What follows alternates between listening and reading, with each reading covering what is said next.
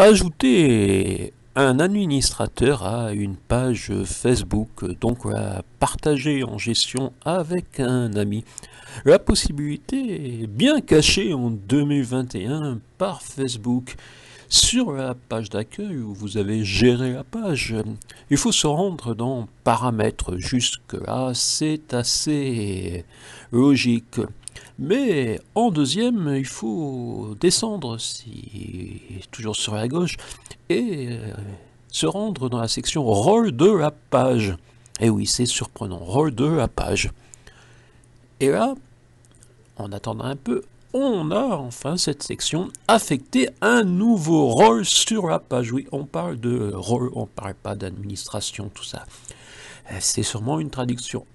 Accéder à la section, vous cliquez dessus, et là, vous pouvez euh, choisir un nouvel administrateur, éditeur, modérateur, annonceur, analyste. Euh, et si vous choisissez, il y a aussi personnalisé, euh, mais aujourd'hui on est à l'administrateur.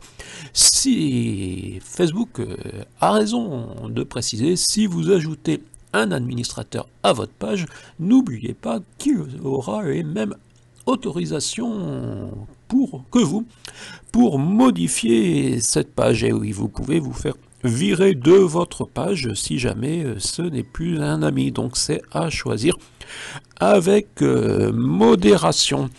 Donc quand vous avez choisi un administrateur, vous saisissez son nom, vous validez et derrière il faut vous préparer euh, la dernière page Veuillez confirmer votre mot de passe. Et oui, préparez le mot de passe. Souvent, on se connecte euh, et on se souvient plus. On a caché le mot de passe quelque part ou on l'a en mémoire pour certains, mais on a tellement de mots de passe qu'on les note quelque part.